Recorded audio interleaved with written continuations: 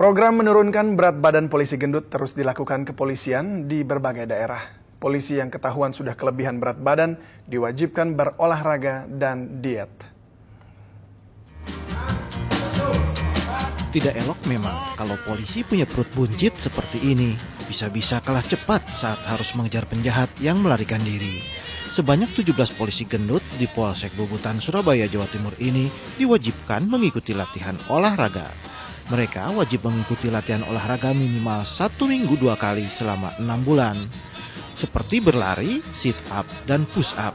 Setelah enam bulan, berat badan mereka akan ditimbang. Juga sebagai uh, pembinaan kesehatan mereka, karena dengan uh, berat badan yang berlebih tentunya akan berpengaruh pada kinerja mereka yang kurang maksimal. Setelah mengikuti latihan olahraga selama enam bulan dan diet, diharapkan para polisi gendut ini bisa mengembalikan berat badan ideal agar sehat dan bisa melayani masyarakat lebih baik. Selamat Riyadi melaporkan dari Surabaya.